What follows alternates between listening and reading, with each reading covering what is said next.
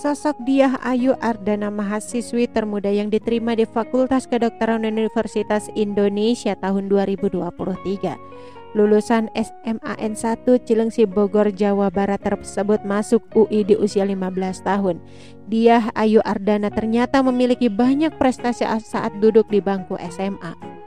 Diah Ayu Ardana lulus di SMAN 1 Cilengsi Bogor menjadi mahasiswi termuda yang diterima Fakultas Kedokteran Universitas Indonesia tahun 2023 yakni di usia 15 tahun.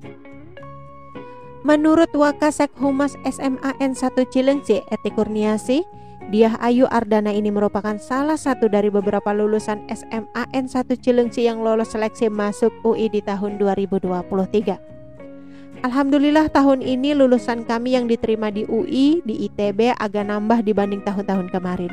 Udah lebih dari lima orang yang masuk UI tahun ini termasuk dia yang jurusan yang skornya tinggi di usia yang masih sangat muda, kata Eti Kurniasi. Dia Ayu Ardana sendiri, kata dia awalnya juga masuk SMAN 1 Cilengsi melalui jalur prestasi raport. Saat sekolah di SMAN 1 Cilengsi awalnya para guru tidak begitu memperhatikan tanggal lahirnya. Belakangan baru diketahui bahwa dia Ayu Ardana dua tahun lebih muda ketimbang umur rata-rata teman sekelasnya karena dia masuk SD di usia empat setengah tahun dan mengikuti akselerasi saat duduk di bangku SMP.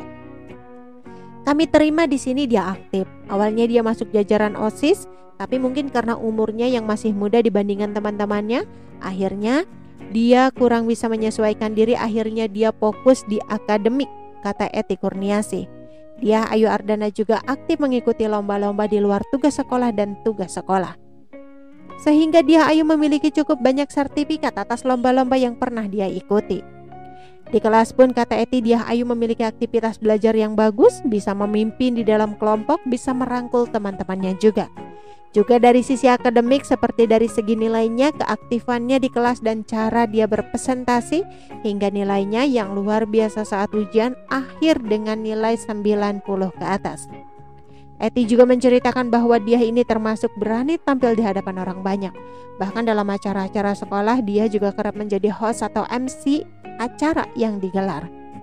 Dia Ayu Ardana dan rekan-rekan juga lolos seleksi masuk universitas Ternana pun kini dijadikan bahan motivasi oleh pihak sekolah SMAN 1 Cilengsi untuk siswa lainnya.